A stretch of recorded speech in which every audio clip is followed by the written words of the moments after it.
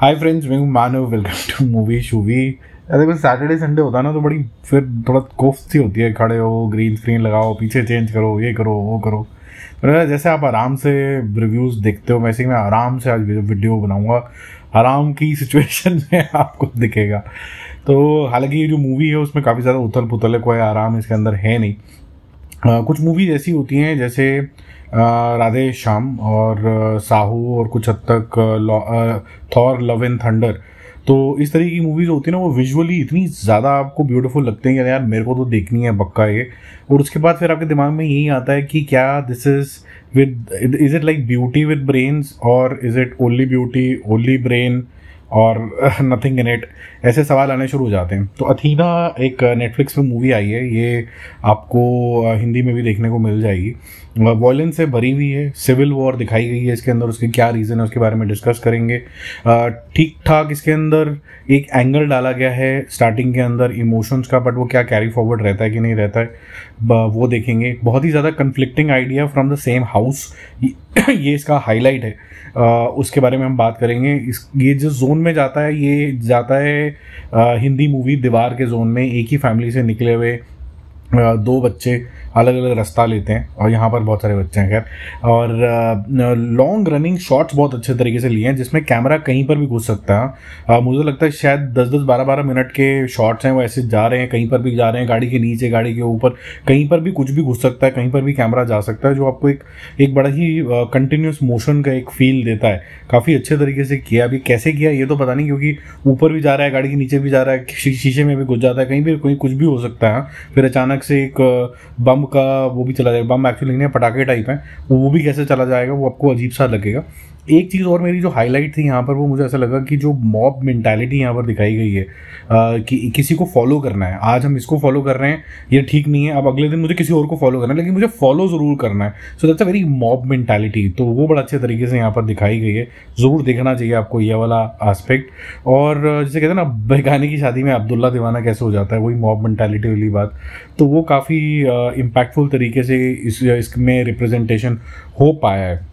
अब हो क्या रहा है इसके अंदर कि आपको दिखाया गया फ्रांस का एक शहर इतना और वहाँ पर एक बच्चे की छोटा ही बच्चा है वो तेरह साल का है वहाँ पर मुस्लिम कम्युनिटी का है और वो आ, किसी वजह से मार दिया जाता है और उसके बाद एक अनरेस्ट सा क्रिएट हो जाता है सिविल वॉर टाइप से हो जाती है जहाँ पर आ, एक ही घर के तीन बच्चे हैं लेकिन अलग अलग रह रहे हैं सोटू से उनमें से जो चौथा वाला है उसका थैंक यू हो गया।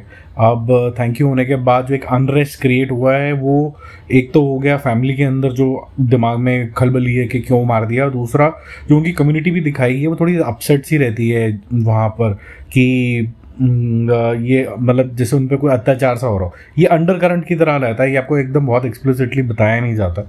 अब आपको मूवी में जो देखने को मिलता है, जो चीज़ आपको यहाँ पर अच्छी लगेगी कि ये अंडर करंट को यूज़ करके जो वायलेंस हो जाती है और जो तीन भाई हैं, जिसके अंदर एक का नाम है अब्दुल, जो कि एक्स आर्मी मैन टाइप है, वो शांति प्रिय आदमी है, वो कोशिश करता रहता है अपनी पर्सनल कैपेसिटी के अंदर क्योंकि उसके बाद कोई ऑफिशियल तो कुछ है नहीं कि मैं किसी तरीके से शांति मेंटेन करूँ।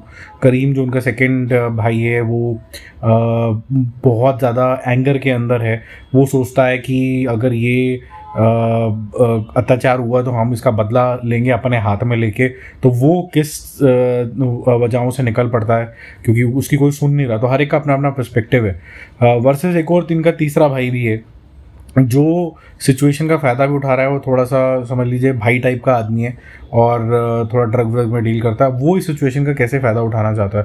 तो सबके अपने अपने पर्सपेक्टिव हैं, लेकिन एक चीज़ पाक कर देती है कम्युनिटी के अंदर, जिनको लगता है कि वो शायद सेमी हुई कम्युनिटी है, अब उनको ब्रेक फ्री करना है। तो right from the word go थोड़ी सी सैड सी मूवी है और एंड भी इसका कोई बहुत ज़्यादा प्लीजिंग नहीं है। हल्की फुल्की एक रे ऑफ़ होप देती है, लेकिन बहुत ज़्यादा क्वेश्चनेबल चीज़ें हैं इसके अंदर। कि हम अपने एक्शंस का रिएक्शंस नहीं सोचते और सीधा करने भाग जाते हैं। और ये सब चीज़ें यहाँ पर दिखती हैं आपको और वो इसलिए ज़्यादा दिखती हैं यहाँ पर क्योंकि मेरे ख्याल से जो डायरेक्शन है, वो एक आस्पेक्ट में बहुत ब्रिलियंट है और एक आस्पेक्ट में बहुत बेकार है। एक आस्पेक्ट में ये ब्रिलियंस है कि हर शॉट आपको बहुत ब्यूटीफुल लगेगा। जैसे मैंने बताया कैमरा एंगल्स वगैरह तो बहुत ही अच्छे हैं। इवन कलर टोनैलिटी बहुत अच्छी रखी गई है। हर फ्रेम में एक साइड पर अगर कोई पटाखे का कलर से येलो और ऑरेंज कलर आ रहा है तो दूसरी साइड एकदम स्टार्क अलग कलर होगा। अगर दो जने बात कर रहे हैं तो एक जना थोड़ा सा लाइट में होगा, एक थोड़ा डार्क में होगा। तो हर फ्रेम में आपको दो दो कलर दिख रहे होंगे तो सिनेमेटिकली काफ़ी अच्छी आपको लगेगी। और कोई वी एफ़ एक्स का कुछ खास कोई यूज़ नहीं किया गया बट जो यूज़ किया गया है, वो यूज़ किया गया रियल लोकेशन रियल लोग जो इसकी सेकेंड प्रॉब्लम है रियल लोग इमीडिएटली कुछ रिजोल्यूट करने चले जाते हैं। जैसे तीनों भाई हैं, तीनों के अपने अपने मुद्दे हैं, और फिर है कुछ जॉम्बी लोग। अब मैं why am calling them zombie is because वो भेड़ चाल वाले हैं। अब किसी ने बोला कि जी, मारना है, तोड़ना, फोड़ना है तो वो तोड़ने फोड़ने निकल गए हैं। काफ़ी हु अल्लाह हो रहा है। जिस तरीके का हु अल्लाह हो रहा है, काफ़ी लोगों को शायद पसंद भी आएगा क्योंकि काफ़ी मार धाड़ हो रही है। लेकिन उस मार धाड़ में कोई मेरे को इमोशन ही नहीं नज़र आया। बाकी लोग क्यों नाच रहे हैं? It was it is something like जो एटीज़ नाइन्टीज़ में पिक्चरें बनती थी ना कि पीछे वाले लोग नाच रहे हैं। ये वैसी वाली फीलिंग आती है। जो टेंशन क्रिएट हो रही है इन दो तीन कैरेक्टर में, वो आगे नहीं जा रही है। और जो डायलॉग्स हैं वो इस तरीके के नहीं है, जो एक्सप्लिसिटली ये बोल पाएँ कि इशू क्या है, सिवाय एक इंसान के जो थोड़ा सा अब्दुल वाला जो कैरेक्टर है, जो वो कोशिश करता है, जिसकी वजह से ये हर एक के लिए नहीं है मूवी जो थोड़ा सा दिमाग लगा के यूज़ करेंगे, बोलेंगे, यार I need style with substance so to say beauty with brains type तो वो ये बोलेंगे कि यार ये मेरे को जमा नहीं, मेरे साथ कनेक्ट नहीं किया।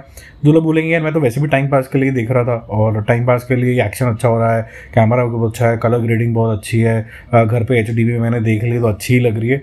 उनको ठीक लगेगा। बाकी एक्टिंग के मामले में सबका थोड़ा थोड़ा थोड़ा थोड़ा थोड़ा जो रोल है, ठीक ठीक किया है बट दिल छूने वाली कोई भी बात नहीं है इसके अंदर। मेरा मूवी शूवी स्कोर इसका लगेगा सिक्स आउट ऑफ़ टेन बाकी आप देखो, और मैंने आपको बता ही दिया कि कनेक्ट करेगी कि नहीं करेगी depend on the individual personality मेरे साथ इतना ज़्यादा ये कनेक्ट नहीं करेगी। बाकी हम जल्दी मिलते हैं को रिव्यू और अपडेट के साथ. Don't forget to subscribe the channel and stay lazy on a Saturday Sunday bye bye